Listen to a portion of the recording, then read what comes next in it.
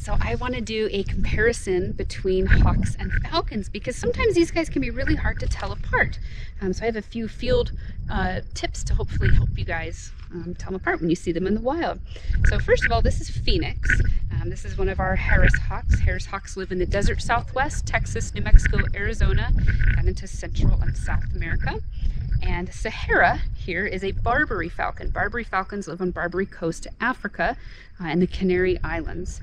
But I picked these two species because this is a perfect appearance for a hawk and a perfect appearance for a falcon. So really, really easy way to tell these birds apart.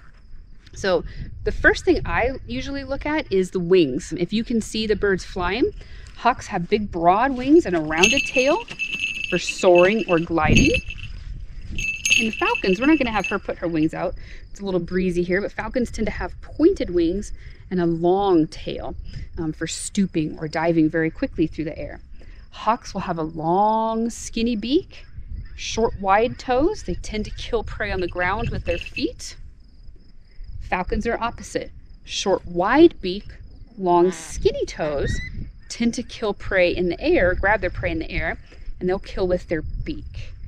Hawks have a really serious look to them. They have a very heavy supraorbital ridge, it's a fancy name for eyebrow. So you might notice that Phoenix here looks like she's concentrating really hard, where Sahara, our Barbary falcon, looks very surprised. She has really big, dark eyes and has a dark stripe under her eyes called the malar stripe. Uh, mustache mark makes them look like they've got a mustache. So most falcons will have either a stripe or a black patch or a dark patch um, under their eyes to help keep the sun out of their eyes when they are hunting.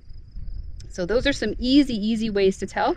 If you get a little closer and, and, look, our hawks tend to just have one little bump on their upper mandible, the upper part of their beak there. Our falcons have what's called a tomial tooth, so little notches, um, a notch on either side that hangs down, helps them to separate the vertebrae in another bird's neck. And falcons also have very, very defined baffles that stick out of their nostrils. You can see the hawk has them too, but much further up. Uh, and the baffles there um, will help them to breathe easier while they're stooping or flying very quickly um, through the air. So hopefully that helps you guys a little bit. Um, easy way to think about it if you see the face, hawk hat, falcon, baseball player. Hope that helps you guys. Thank you so much.